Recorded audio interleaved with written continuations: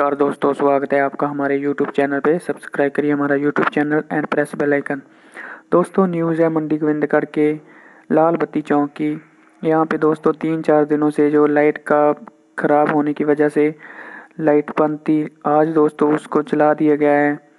यहाँ पे दोस्तों तीन चार दिन से अंधेरा छाया हुआ था, जिससे खतरा बना हुआ था एक्सीडेंट होने के।